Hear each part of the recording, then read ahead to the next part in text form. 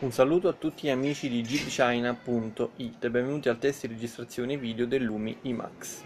Facciamo una breve panoramica del paesaggio di fronte, un controluce, un pan veloce e testiamo l'autofocus. Focus con il TAP.